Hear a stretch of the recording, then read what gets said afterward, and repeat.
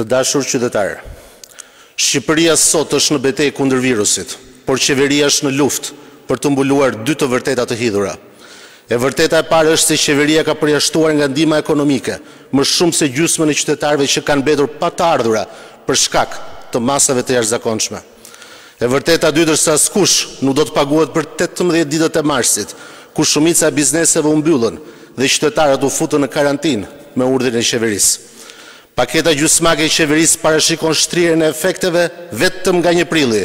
Kjo do të thotë se marsi nuk përfshihet fare në llogaritë e Edi Ramës për të ndihmuar qytetarët në nevojë. Në vendimin e fundit, të publikuar për Fondin e Ndihmës Gjysmake, shkruhet e zeza mbi të bardhë, Ky vendim hyn në fuqi pas botimit në Fletoren Zyrtare dhe i shtrin efektet duke filluar nga data një prill dy mijë e njëzet deri në përfundim të gjendjes së pandemisë nga Covid nëntëmbëdhjetë por jo më shumë se tre muaj. Është e qartë se vendimi i qeverisë ka përjashtuar ndihmë për muajin mars, duke lënë në mëshirë të fatit më shumë se një milion shqiptarë. Ku do t'i gjejnë ata paratë për të mbyllur muajin? Pse nuk pse duhet të shtojnë ata borxhet e tyre, kur Edi Rama e kishte në dorë, t'ua lehtësonte sadopak jetesën? Hyrja në fuqi në një prill e vendimit, nuk do të thotë ama se pagesat do të kryhen menjëherë. Pas aplikimit të bizneseve, do të duhen të paktën dhe dhjetë ditë të tjera që të marrin një përgjigje nëse përfitojnë apo jo nga fondet e pamjaftueshme të vëna në dispozicion. Lënia pa të ardhura për të paktën një muaj dhe mbyllja e detyruar e bizneseve është pasojë direkte e vonesës së pajustifikuar dy javore të qeverisë për hartimin dhe zbatimin e paketës së ndihmës. Edhe ato pak masa të lançuara nga qeveria janë gjysmake dhe jo transparente.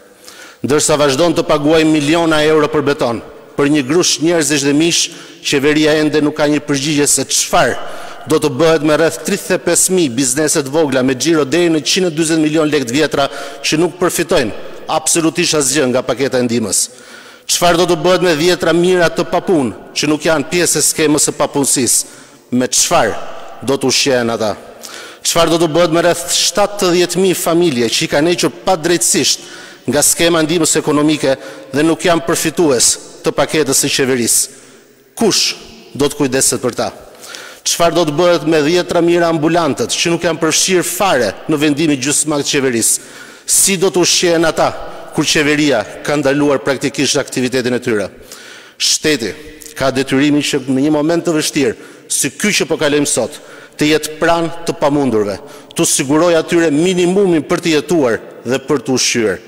Nuk janë paratë e xhepit të Edi Ramës, jo, por janë paratë tuaja, paratë e taksapaguesve shqiptarë.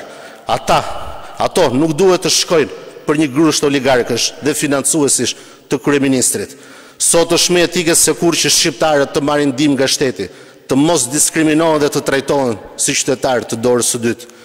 Ky është detyrim ligjor i shtetit shqiptar dhe jo çështje e dëshirave apo vullnetit të Edi Ramës. Partia Demokratike kërkon urgjentisht rishikimin e paketës së ndihmës së qeverisë. Asnjë qytetar nuk duhet të përjashtohet. Çdo ditë e lënë pa punë duhet të kompensohet tërësisht e plotë. Ju faleminderit.